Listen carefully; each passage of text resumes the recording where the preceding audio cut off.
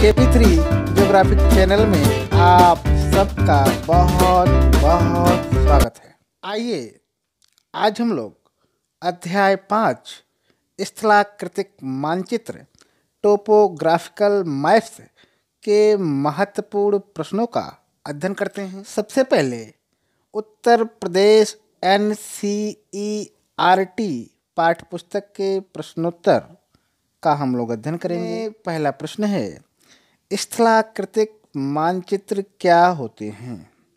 इसका उत्तर इस प्रकार है। शुद्ध सर्वेक्षण के आधार पर उच्चावच वनस्पति कृषिगत भूमि बस्तियों अपवाह तथा परिवहन का प्रदर्शन करने वाले मानचित्र स्थलाकृतिक मानचित्र कहलाते हैं। इन्हें भौगोलिक तथ्यों का भंडार कहा जाता आगे है। आगे चलते हैं। आगे हम लोग देखेंगे अगला प्रश्न। भारत की स्थलाकृतिक मानचित्र बनाने वाली संस्था का नाम बताइए तथा इसके मानचित्रों में प्रयुक्त मापनियों के विषय में बताइए। इसका उत्तर इस प्रकार है, भारत की स्थलाकृतिक मानचित्र बनाने वाली संस्था सर्वे ऑफ़ इंडिया है। इसके द्वारा एक अनुपात दस लाख तथा एक अनुपात बारह लाख पचास हज़ार या एक अनुपात पचास हज़ार तथा एक अनुपात पच्चीस हज़ार आदि मापनियों का प्रयोग किया जाता है। आगे चलते हैं, आगे हम लोग देखेंगे अगला प्रश्न। भारतीय सर्वेक्षण विभाग हमारे देश के मानचित्रण में किन मापनियों का उपयोग करता है? इसका उत्तर इस प्रकार है। भारतीय सर्वेक्षण विभाग, सर्वे ऑफ़ इंडिया, हमारे देश के मानचित्रण में विभिन्न मापनियों जैसे एक अनुपात दस लाख, एक अनुपात बारह लाख पचास हज़ार एक अनुपात पचास हज़ार तथा एक अनुपात पाँच हज़ार तथा एक अनुपात पच्चीस हज़ार का प्रयोग करता है। आगे चलते हैं, आगे हम लोग देखेंगे अगला प्रश्न। समोच्च रेखाएँ क्या हैं? इसका उत्तर इस प्रकार है।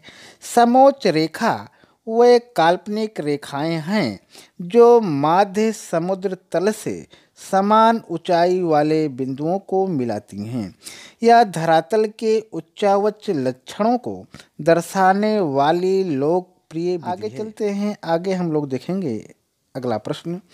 समोच्च रेखाओं के अंतराल क्या दर्शाते हैं? इसका उत्तर इस प्रकार है।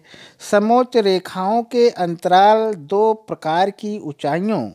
पहला है ऊर्ध्वाधर ऊंचाई और सेकंड है, लंबवत ऊंचाई को दर्शाते हैं और समोच्च रेखाएँ समान ऊर्ध्वाधर अंतर पर बनाई जाती हैं।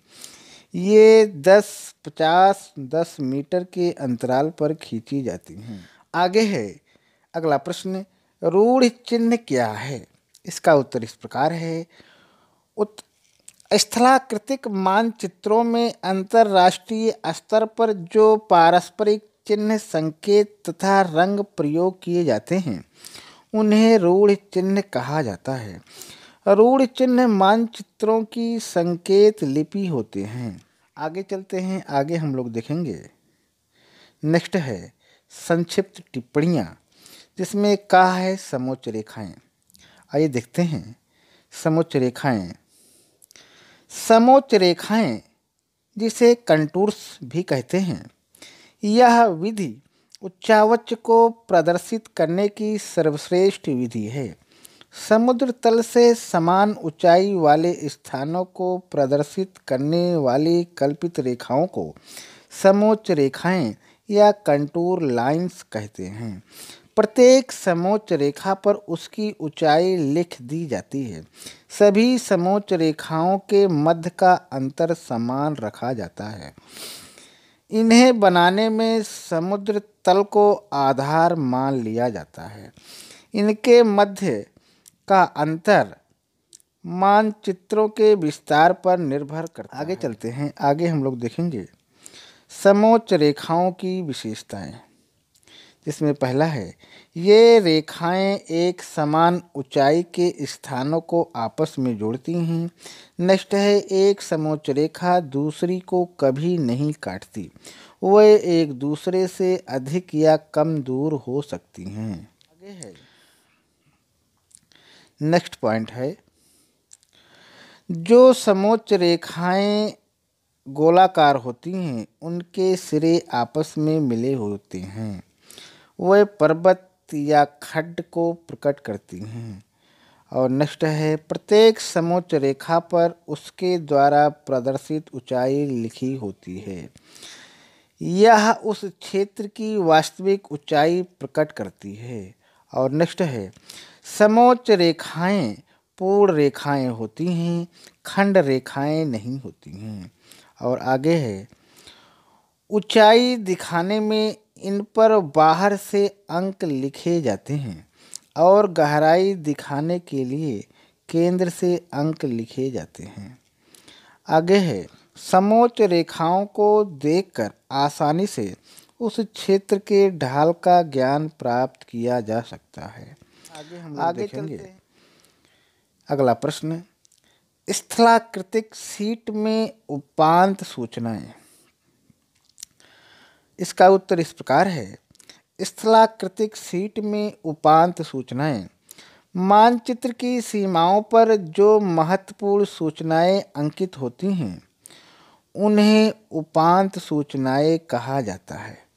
इसमें पहला है स्थलाकृतिक सीट संख्या, दूसरा है क्षेत्र की स्थिति, तीसरा है डिग्री तथा मिनट चौथा है विस्तार और पांचवा है मापनी तथा संकेत आदि होते हैं। आगे नेक्स्ट पॉइंट है भारतीय सर्वेक्षण विभाग। आइए इसके बारे में जानकारी करते हैं। भारतीय सर्वेक्षण विभाग। भारत सरकार ने सर्वेक्षण करने तथा मानचित्र प्रकाशन हेतु सत्रह सौ सड़सठ ईस्वी में भारतीय सर्वेक्षण विभाग सर्वे ऑफ़ इंडिया की स्थापना की थी। इसका मुख्यालय उत्तराखंड राज्य के देहरादून नगर में है। इस संस्था ने सत्रह सौ पचासी ईस्वी में भारत का मानचित्र प्रकाशित किया। यह विभाग सर्वेक्षण कराकर मापनियों के आधार पर भारत और अंतर्राष्ट्रीय मानचित्रों की श्रृंखला का प्रकाशन करता है। आगे चलते हैं, आगे हम लोग देखेंगे। नेक्स्ट क्वेश्चन है, स्थलाकृतिक मानचित्र निर्वचन का क्या अर्थ है? इसकी विधि क्या है? इसकी विवेचना कीजिए।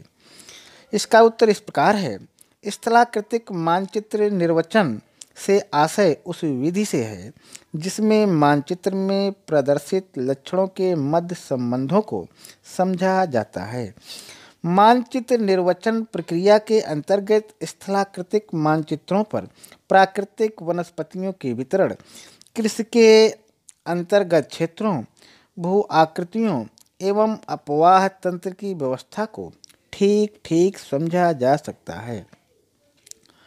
और इस प्रकार से बस्तियों के वितरण परिवहन मार्गों तथा स्थलाकृतियों की पहचान करना भी इसका लक्ष्य होता आगे है। चलते हैं आगे हम लोग देखेंगे। अगला प्रश्न।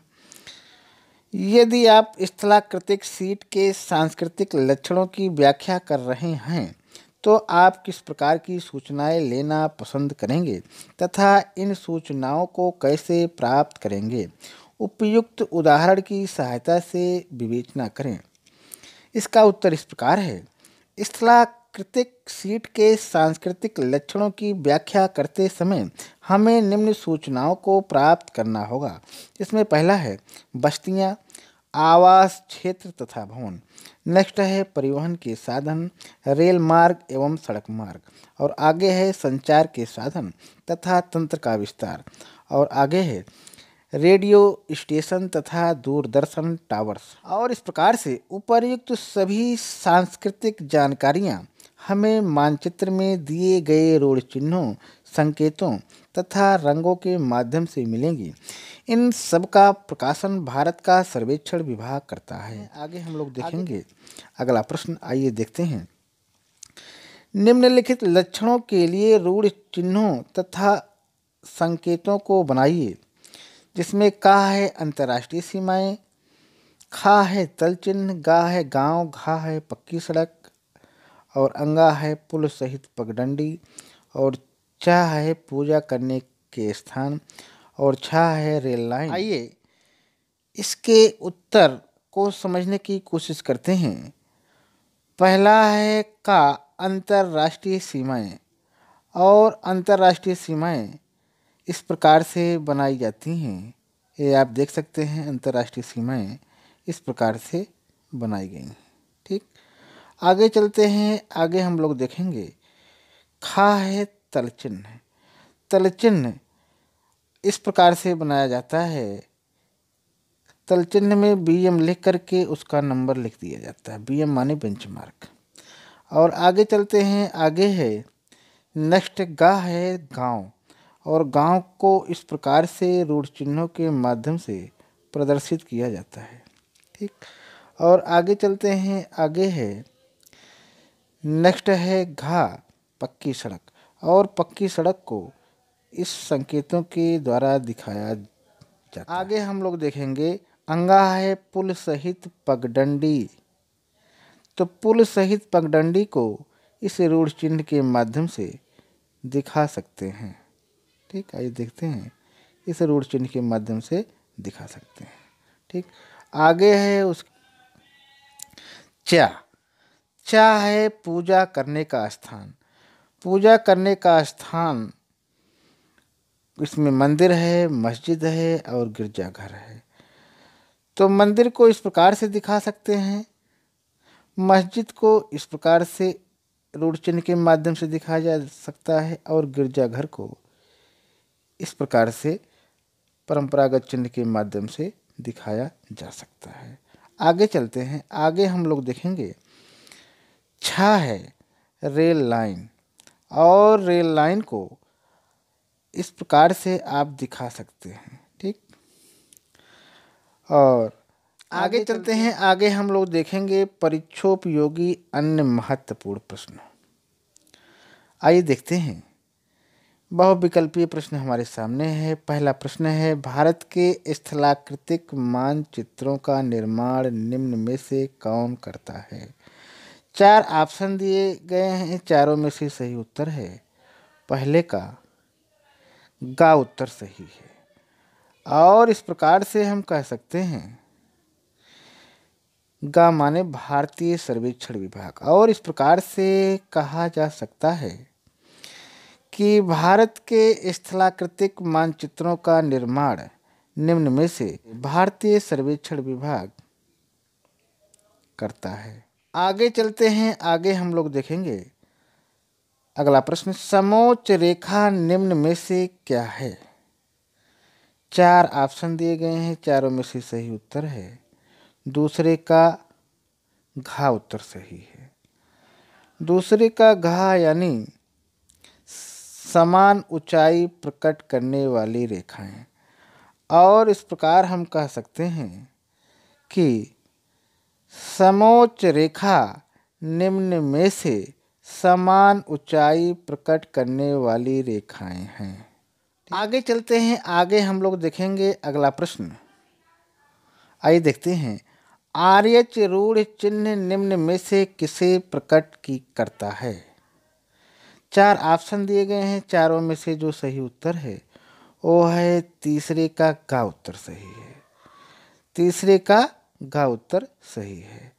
और इस प्रकार से हम कह सकते हैं कि आर्य रूढ़ चिन्ह निम्न में से विश्राम ग्रह प्रकट करता है। आगे चलते हैं। आगे हम लोग देखेंगे अगला प्रश्न। वी आकार की घाटी का निर्माण निम्न में से किसके द्वारा किया जाता है? चार ऑप्शन दिए गए हैं चारों में से सही उत्तर है चौथे का का यानी नदी। और इस प्रकार से हम कह सकते हैं कि वी आकार की घाटी का निर्माण निम्न में से नदी द्वारा किया जाता है। ठीक। आगे चलते हैं आगे हम लोग देखेंगे अगला प्रश्न है। निम्नलिखित में से कौन बस्तियों का प्रकार नहीं है? चार ऑप्शन दिए गए हैं। चारों में से सही उत्तर है। पाँचवें का का उत्तर सही है। पाँचवें का का उत्तर सही है। और इस प्रकार से हम कह सकते हैं कि निम्नलिखित में से ध्रुवीय बस्तियों का प्रकार नहीं है। इस प्रकार आज हम लोगों ने अध्याय पाँच के महत्वपूर्ण प्रश्नों का अध्ययन किया। आज यहीं तक बहुत बहुत धन्यवाद।